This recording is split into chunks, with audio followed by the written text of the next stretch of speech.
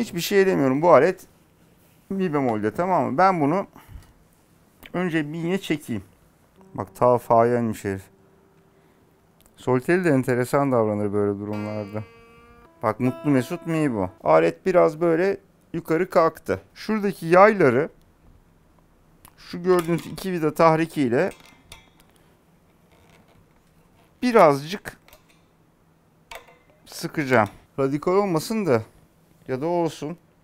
Baya iki ay sonra kutusundan çıkarttığım zaman bu herifin dümdüz akortta olduğunu gördüm ben. Hala muzaffer komutan edasıyla bakamıyorum. Ayı gibi sıkıp arkadan hemen lap diye yerine oturmasını bekleme yani o 2-3 turluk bir hamledir. Yayın var mı derdin var isimli bölüme hoş geldiniz. Bu Floyd Rose. Ondan sonra bir tane konser vardı. Ben bu gitarı yarım perde pes akortlamak zorunda kaldım. O kısmı gösteremedim. Şimdi size tersini göstereceğim. Yani bu iki yönlü çalışan bir hadise. Bir Floyd Rose e, klonu Hentag, Hantu daha doğrusu. Bu titanyumdan bir malzeme ama hepsi nispeten aynı davranıyor. Bu tabii çok çok farklı. Bir tane video var ona da bakın araştırın mevzu. Şimdi yapacağım şey şu. Şu tepedeki kilidi açıyorum. Bu Japon şarvellerde böyle bir e, kilit mekanizması kullanmışlar bakın. E, enteresan normal alyan değil de böyle bozuk parayla da rahatlıkla açabiliyorsunuz. Aslında zekiceydi. Sonra niyeyse o işten vazgeçtiler. Şimdi. Hiçbir şey demiyorum. Bu alet mi bemolde tamam mı? Ben bunu önce bir çekeyim. Ha bu arada şimdi o köprüyü ayarlamışım ben bak böyle cetvel gibi duruyor tamam mı? Şu açıdan bahsediyorum. Ha, dümdüz duruyor ya böyle. Birazdan öyle durmayacak. Şimdi efendim.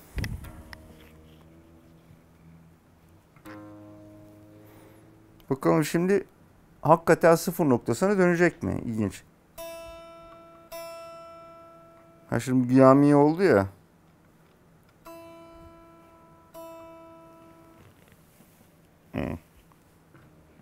Devam.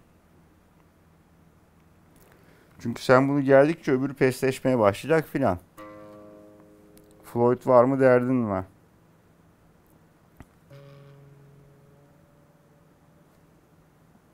Ha bak mesela hep beraber bakalım.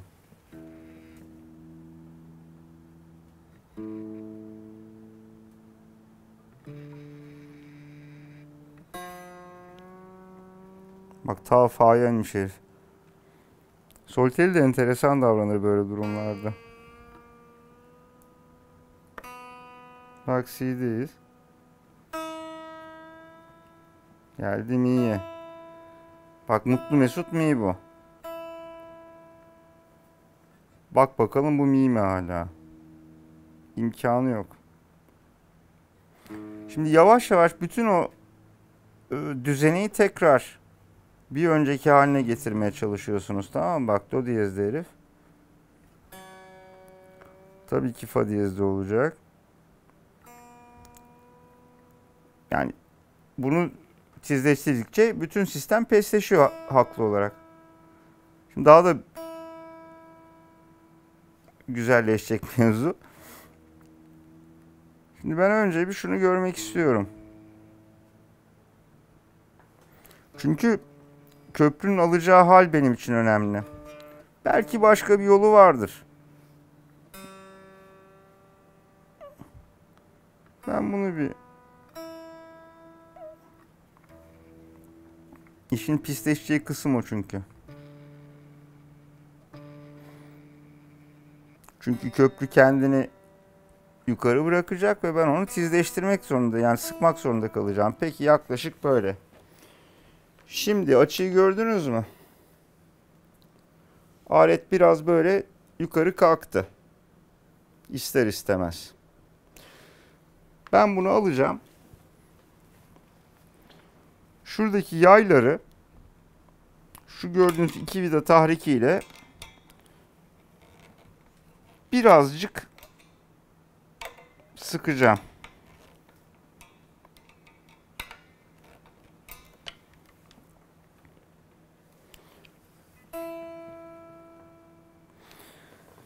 Şimdi tizleştiği için bu sefer birazcık akordu gevşetmem gerekiyor.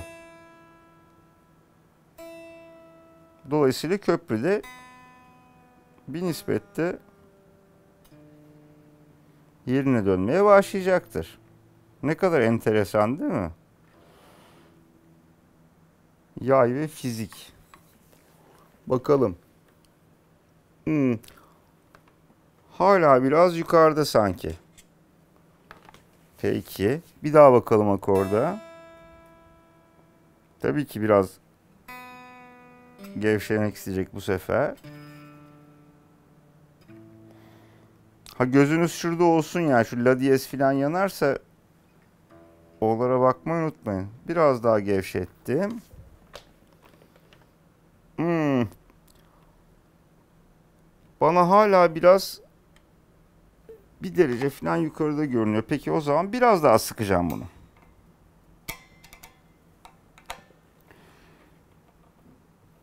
Ufak hareketler. Hep ufak hareketler.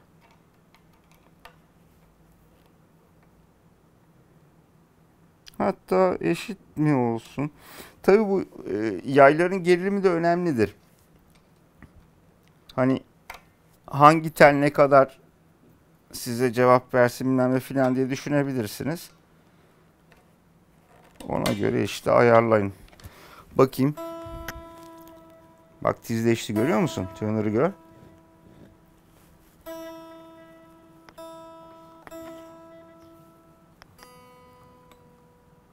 O zaman gevşeteceğim.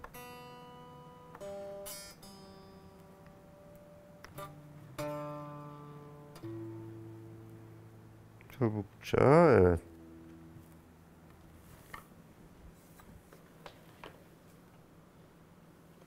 Diyor ki sık. Abartalım.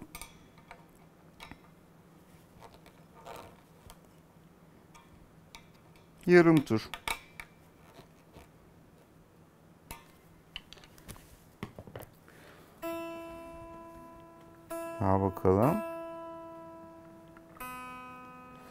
Ha bu arada tuner kullanırken bir yerde okudum. O da faydalı. Eksili şey sap manyetini kullanın derler.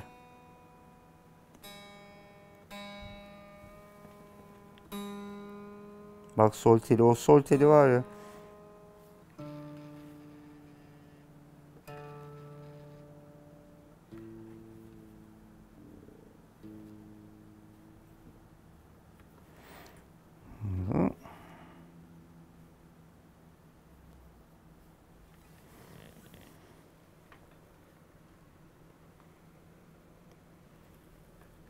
Hala mı yukarıda?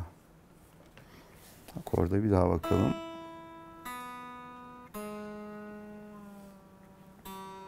Sol diyezmiş be. Söylemiyorsunuz.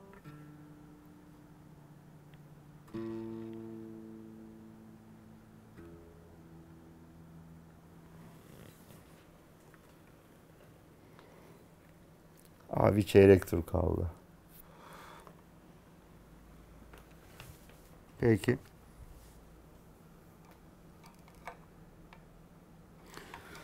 Ya çünkü ağaç tel dahil her e, parçası hareketli bir çalgı olduğu için gitar öyle hani şuraya bir e, işte şey işaret çizeyim de bir sonraki öyle olsun diye davranamıyorsunuz. Çünkü peki bir çeyrek daha gel.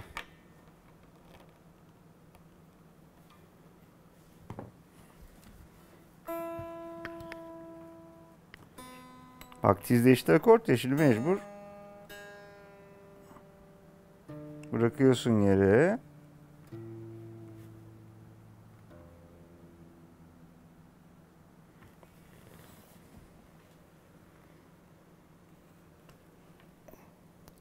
Yedi mi? Bir dakika. Bu yine tizleşti çünkü. Burada acele etmeyin. Son noktada çünkü Büyük ihtimal olacak şimdi.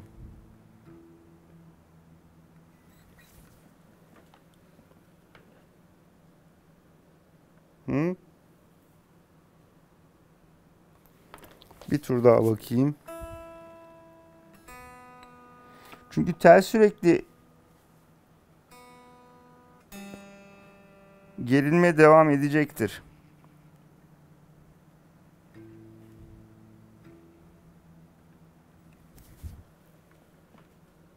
Yes. Hatta şu anda gerilmeye devam ediyor. Bak bir tur daha yapayım tam oturacak.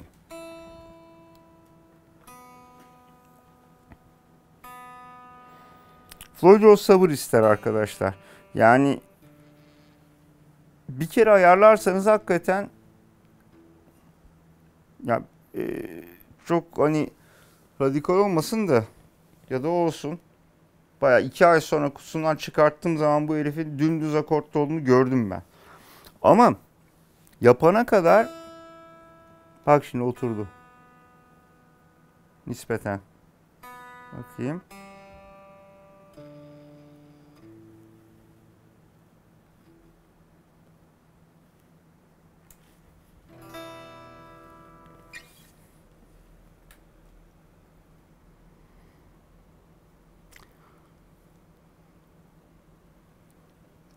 Hassasiyet yapalım mı? Biraz yukarıda. Çeyreğin çeyreği sıkacağım.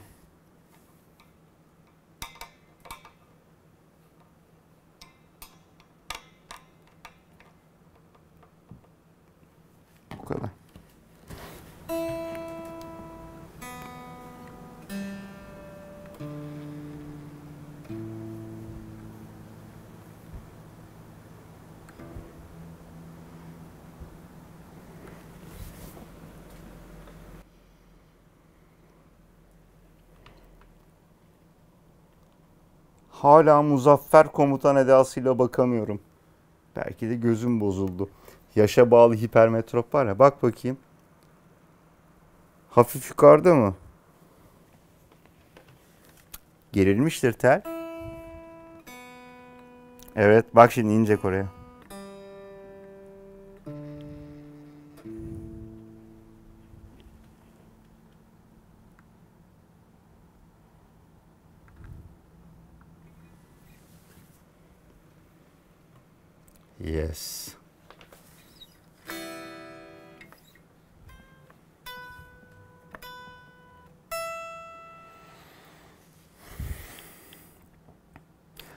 Entonasyon yerine dönmedi. Şimdi onu da ayarlamak lazım. Onun için sonra bir 15 dakikanızı daha alacağım. Floyd'un var mı? Derdin var.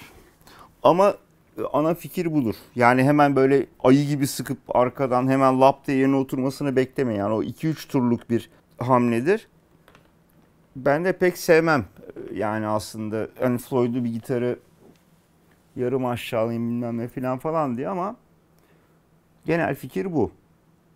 Yani Floyd'u olana Allah kolaylık versin. Görüşürüz arkadaşlar. Bay bay. Takipte kalın.